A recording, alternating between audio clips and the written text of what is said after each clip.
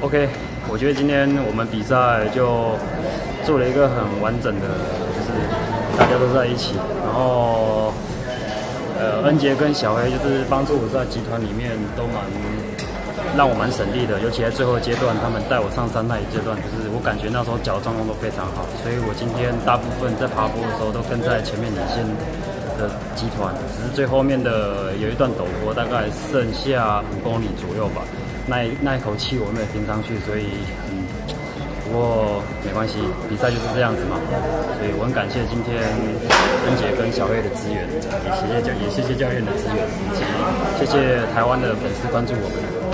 谢谢。谢谢台湾的朋友帮我们加油。呃，今天对自己的表现是觉得还蛮不错的，